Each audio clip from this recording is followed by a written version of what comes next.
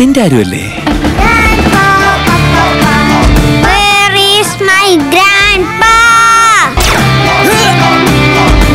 ഇരുപത്തിനാല് വയസ്സുള്ള മകളും അഞ്ചു വയസ്സുള്ളൊരു പേരക്കുട്ടിയും. മൈ ഗ്രേറ്റ് ഗ്രാൻഡ് ഫാദർ ശനിയാഴ്ച ഉച്ചയ്ക്ക് ഒന്ന് മുപ്പതിന്. ഇതെങ്ങാനും വല്ല മീറ്റു എങ്ങാനും ആണോടാ? ഏയ്!